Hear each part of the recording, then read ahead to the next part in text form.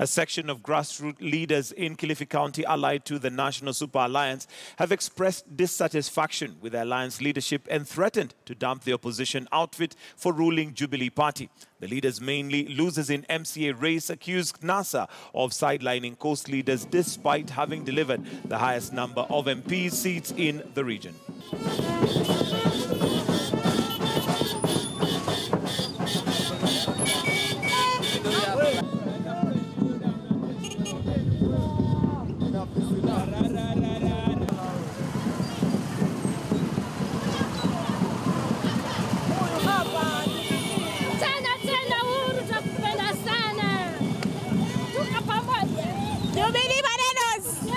Msimamo wetu kama watu wa Kilifi, tutatoka hapa na tutakuwa na msimamo kuwachukua, na tunaweza tunaweza chukua msimamo kusiunga mkono serikali kwa sababu inatujali na imetupatia seneta ambaye ni Christine Zawadi.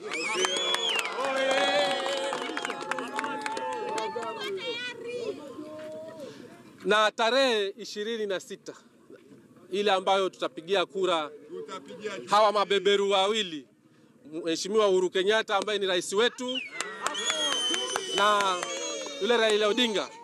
Sisi watu wa Kilifi tumesema hatutaki kubabaishwa tena, tutahakikisha kwamba Jubilee hapa Kilifi County inapeperusha bendera hiyo.